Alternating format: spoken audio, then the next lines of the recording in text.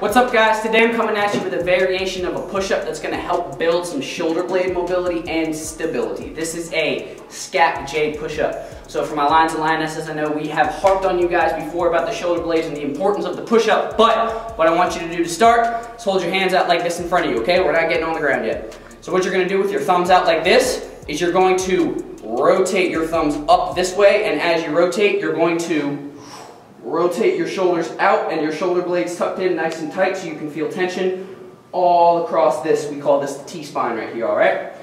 With that tension engaged, we're gonna come down now into our push-up, all right?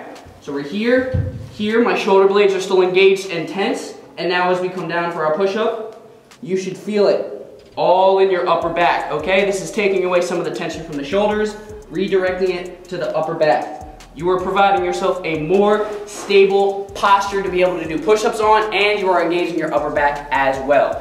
That is the Scap J push-up, guys. Have fun with that one at home.